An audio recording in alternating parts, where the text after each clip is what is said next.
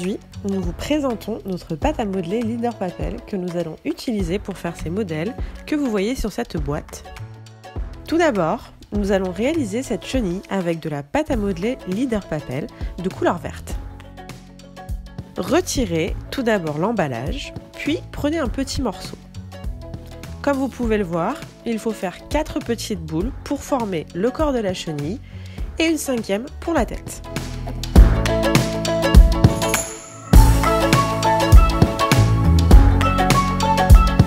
Regardez comme cette pâte est facile à modeler. Faites une petite boule en faisant rouler la pâte entre vos paumes de main. Les enfants adorent la pâte à modeler, encore plus si elle est molle, comme celle que nous utilisons aujourd'hui. Continuez en faisant trois autres boules pour former le corps de la chenille. Collez les boules entre elles, les unes derrière les autres. Prenez un peu plus de pâte pour faire la tête.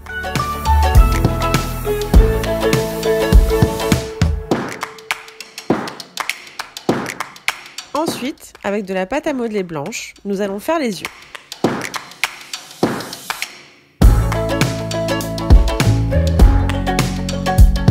Faites une toute petite boule et collez-la à l'avant de la tête.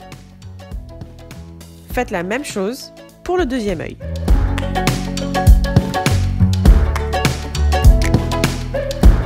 Avec de la pâte à modeler de couleur noire, faites deux petites boules pour réaliser l'intérieur de chaque œil.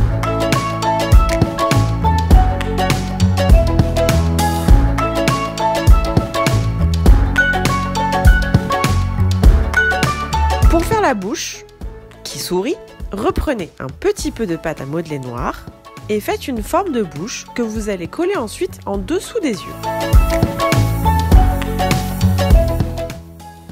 Et voilà, notre chenille est terminée. Passons maintenant à la fleur. Prenez un petit morceau de pâte à modeler jaune et faites une boule en la malaxant entre vos paumes de main.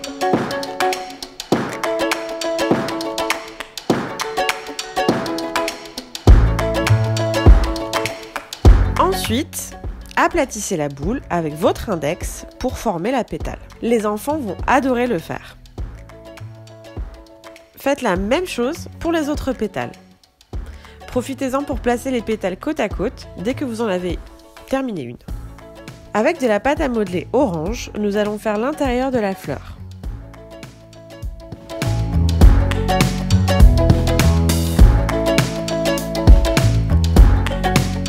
Morceau, faites-en une boule, aplatissez-la dans votre paume de main, puis collez-la au centre.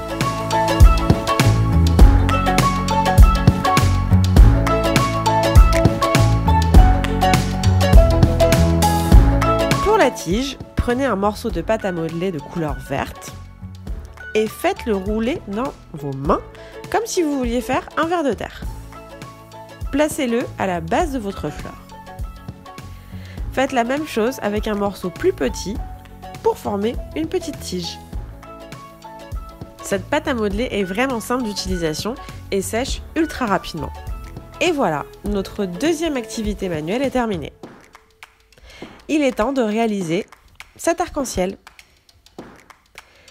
Prenez tout d'abord de la pâte à modeler de couleur rouge pour faire le premier arc.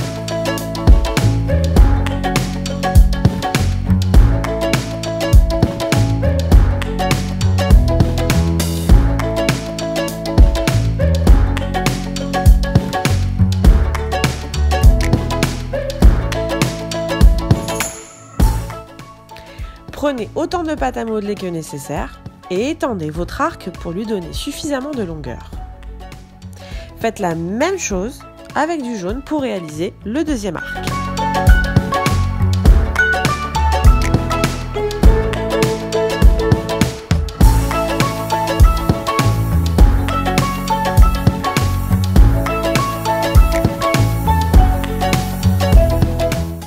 Collez-le en dessous de l'arc rouge réalisé précédemment. Procédez de la même façon avec la couleur bleue, puis collez-le en dessous de l'arc jaune. Pour finir, réalisez un arc vert que nous placerons en dessous du bleu. Il ne manque plus que les nuages.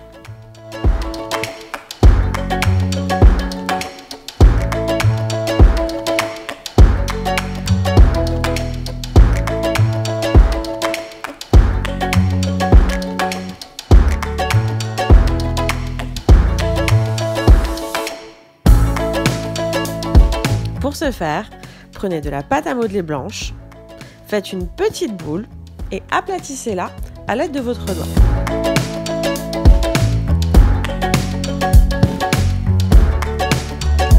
Placez-la à droite de votre arc-en-ciel. Faites la même chose pour les autres nuages. Puis, passez au côté gauche de l'arc-en-ciel. J'ai choisi de faire trois nuages de chaque côté.